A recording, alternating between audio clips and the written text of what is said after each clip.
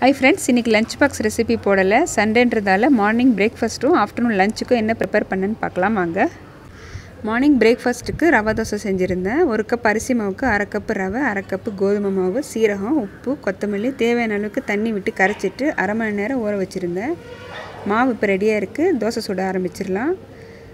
தோசை ஒரு பக்கம் ரோஸ்ட் ஆனதும் அடுத்த பக்கம் திருப்பி போட்டுக்கலாம். நல்லா மொறு மொறுன்னு ரவை தோசை ரெடி இதுக்கு சைட் டிஷ் வந்து முள்ளங்கி கார சட்னி செஞ்சுருந்தேன்.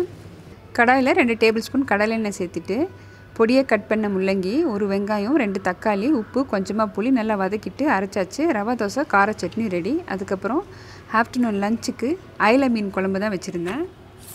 மீன் குழம்புல எப்போவுமே நல்லெண்ணெய் சேர்த்து செய்யும்போது ரொம்ப டேஸ்ட்டாக இருக்கும். சின்ன வெங்காயம் பூண்டு எல்லாம் அதிகமாக சேர்த்து செஞ்சுருக்கேன். மீன் குழம்பு ரெசிபி ஆல்ரெடி நம்ம சேனலில் இருக்குது கண்டிப்பாக செக் பண்ணி பாருங்கள் இப்போ சூடான சாதம் வச்சுக்கிறேன். அதுக்கப்புறம் இன்றைக்கி நாம் செஞ்ச அயில மீன் குழம்பு. அதுக்கப்புறம் மீன் வறுவல். இதில் எந்த ஒரு ஃபுட் கலருமே சேர்க்கலை. ஃபிஷ் ஃப்ரை மசாலாவும் ஆட் பண்ணலை. வெறும் மிளகாத்தூள் தனியாத்தூள் மஞ்சத்தூள். இஞ்சி பூண்டு சீரகம் மிளகு அரைச்சிட்டு கொஞ்சமாக புளி கரைச்சல் உப்பு சேர்த்து ஊற வச்சு ஆஃப் அன் ஹவர் கழித்து ஃப்ரை பண்ணியிருக்கேன். ரொம்ப டேஸ்ட்டாக இருந்தது. அதுக்கப்புறம் அரைச்சி விட்டு பருப்பு ரசம் பண்ணியிருந்தேன். ஓகே ஃப்ரெண்ட்ஸ் இது வரைக்கும் நம்ம சேனலை சப்ஸ்கிரைப் பண்ணாமல் இருந்தீங்கன்னா கண்டிப்பாக சப்ஸ்கிரைப் பண்ணுங்கள் தேங்க்ஸ் ஃபார் வாட்சிங்